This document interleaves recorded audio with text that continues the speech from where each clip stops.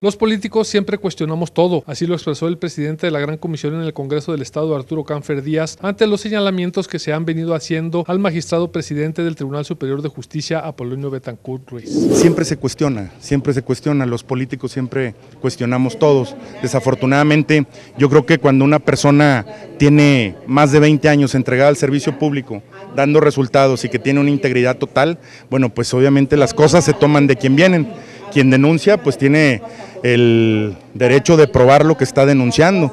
Y por el otro lado, a mí me preocupa mucho que a través de la politiquería se trate de denostar a una figura que le ha entregado muy buenos dividendos a Durango.